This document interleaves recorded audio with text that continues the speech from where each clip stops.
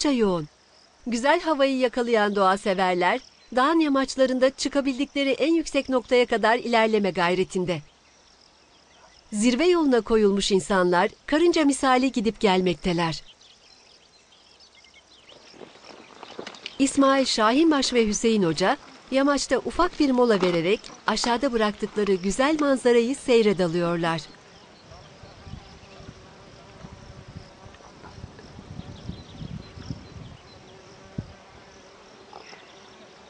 Dedegöl Dağı zirvesinin hemen eteğinde bulunuyoruz.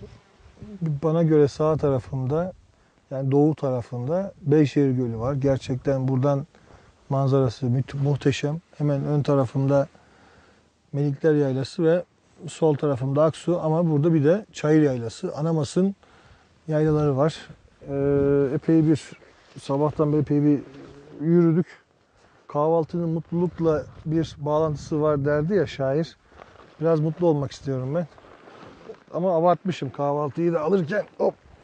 Evet şöyle. Epey bir malzeme almışız. Evet. Şöyle önce enerji verici bir takım çikolata, fındık gibi şeyler aldıktan sonra kahvaltıya geçeceğim. Ama gerçekten hava çok güzel. Ee, grupların bir kısmı yeni geliyor, bir kısmı zirveden dönüş yapıyor. Ee, Yolla, yolda çok önceden tanıştığım, görüşemediğim arkadaşlarıma denk geldim. Gerçekten mutlu bir gün. Zaten dağcı dağcıya dağda kavuşur derler. Öyle mutlu bir gün oldu. Bundan sonra yolumuz e, fotoğraf yarışmasına gidecek. Şenlikler devam ediyor. Aksu Kaymakamlığı'nın Anamas'ın Çiçekleri isimli bir fotoğraf yarışması var. Yarışma sürüyor. Biz buradan kahvaltıdan sonra zirve yapmayıp direkt olarak yarışmaya yetişeceğiz. Evet kahvaltı edelim hocam. Size şöyle bir gofret verebilir miyim? Verebilirsiniz. Tamam.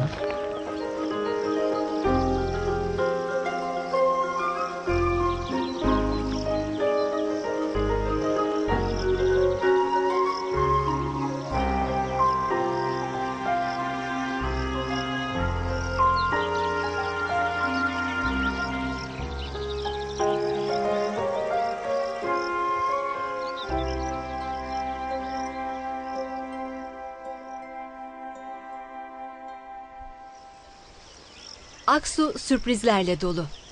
Zengin doğasıyla şenliğe katılan herkesi kendine hayran bırakıyor. Anamas'ın Çiçekleri adlı yarışma için asarlar ve barak yaylalarını gezmeye başlayan katılımcılar güzel kareler yakalamak üzere sessiz ve huzurlu bir rekabet içine giriyor. Ancak çiçek fotoğrafı çekmenin birçok püf noktası var. İsmail Şahinbaş, Dedegöl'de Hüseyin Hoca ile vedalaştıktan sonra fotoğraf makinesini ve tripodunu aldığı gibi yaylalara geliyor.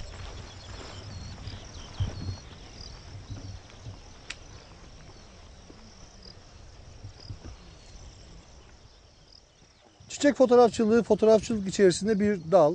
Sadece iyi fotoğraf bilmek gerekmiyor. Aynı zamanda e, çiçekleri bilmek gerekiyor. Bu konuyu sevmek gerekiyor. Çünkü e, sürekli sallanan bir nesne var.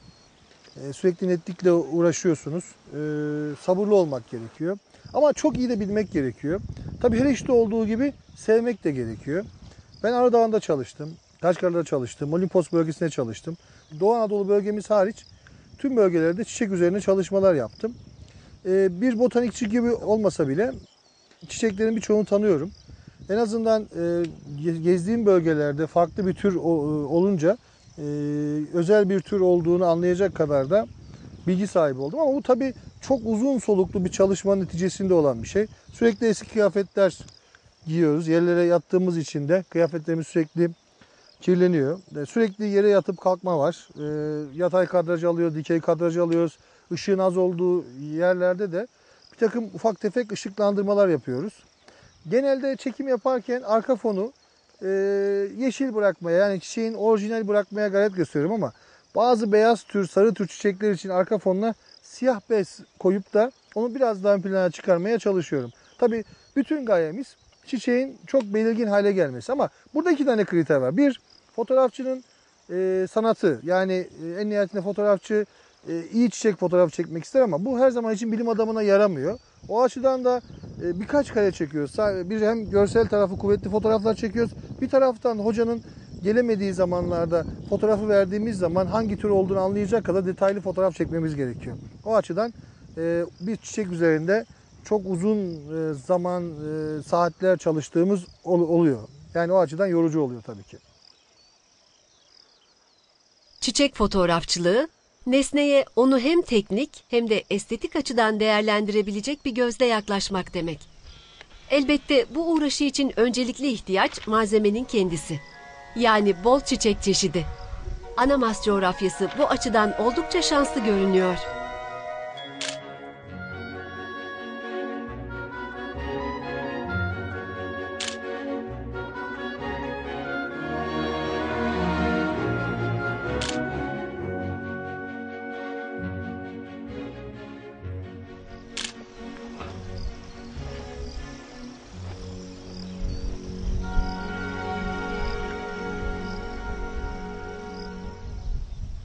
Anamas'ın çiçekleri fotoğraf şenliği devam ediyor. Ben gruptan biraz ayrıldım. Çünkü daha önce bu bölgede çalışmış olduğum için çiçeklerin nerede yayılma alanları olduğunu biliyorum. O açıdan biraz daha zaman kazanma açısından e, bu bölgeye geldim. Hemen Barak Yaylası'nın üst kısmındayız. Tabi burası Anamas bölgesi. Çiçek tabi önemli bir şey. E, ülkemiz Avrupa, Sibirya, İran, Turan, Akdeniz iklim tiplerinin e, ortasında ya da karasal iklimin içerisinde bir e, konumda olduğundan dolayı tür çok fazla. Öyle ki bütün Avrupa'da 12 bin çeşit bitki türü olduğu düşünülürken ülkemizde 11 bini aşkın ve yeni türlerde bulunmaya devam ediyor. E, ilk bakışta düşünürsek en çok Türkiye'de çiçek nerede olur diye düşünürsek tabii herkesin aklına Kaçkarlar gelecektir. Ağrı Dağı gelecektir. Olimpos bölgesi gelecektir. Ege'de bir takım alanlar gelecek, özel alanlar gelecektir. Ama ilginçtir ki Kaçkarlar'da hani zannedilenin aksine Kaçkarlar'da çiçek türleri çok fazla değil, yayılma alanları çok fazla. Hani çiçek tarlaları şeklinde alanlar var. Oysa Türkiye'de en çok çiçek Konya Havzası'nda var tür olarak, çeşitlilik olarak. Anamas bölgesi de bu şeyden çiçek çeşitliliğine nasibini almış bir bölge. Çünkü iki göl var. Biri Beyşehir Gölü, biri Eğidir Gölü. Bunun arasında koca bir kütle var. 110 kilometre, 55 kilometrelik bir kütle. Yüksek bir kütle. En yüksek dağ Göl Dağı. Bugün erken saatte de tırmanış yapmıştık. Tabi burası su tutan bir havza. Su olduğu için de ve güneş de alan bölge olduğu için de çeşitlilik çok fazla e, miktarda var. Burası da Anamas'ta gelecekte e, çiçek sever gezginlerin ya da gerçekten gezmeyi seven insanların uğrak yeri olacak. Tabi yapılan bütün çalışmalar yani Aksu Kaymakamlığı'nın sürdürmüş olduğu bütün çalışmalar ekoturizm, bu ekoturizm hamlesi bu sistem üzerine, bu çeşitlilik üzerine, bu var olan coğrafi değerler üzerine kurulu. Bu yönde çalışan arkadaşlarımız var. Ben de bu ekibin bir parçasıyım sadece. İnsanın içinde yaşadığı coğrafyayı tüm yönleriyle tanıması özveri gerektiren bir süreç. Isparta Aksu'nun ekoturizm hamlesi de işte bu sabırlı çalışmanın bir ürünü. İşin mutfağında üzerinde bulundukları zenginliğin ne kadar değerli olduğunu bilen kişiler yer alıyor.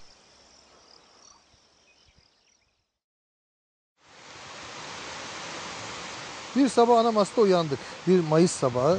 Bir anda kendimi Yılan Ovası'nda buldum Kaymakam Bey. Her tarafa çiçekler, leylekler. Ardından havada uçan yamaç paraşütçüleri gördük. Derken bir anda kendimi Yaka Kanyon'da buldum. O gün öyle bitti. Çok fazla uyumaya vaktimiz olmadı. Esas sabah erkenden uyandık. Bu sefer Dede Göl'ün zirvesine doğru çıktık. Tam da zirveye çıkamadık ama zirveye yakın bir yerde mola vermek zorunda kaldık. Çünkü yaptığınız başka bir etkinlik vardı. Bu sefer de yine çiçek tarlasında bulduk kendimizi. Yani gerçekten Anamas çiçekler diyarı. Ve ardından çok güzel bir konserle bu etkinlikler sona erdi. Sanırım müthiş bir ekoturizm projesi var burada. Aksu'da, Anamas'ta. Nelerdir bunlar? Nasıl yola çıktınız?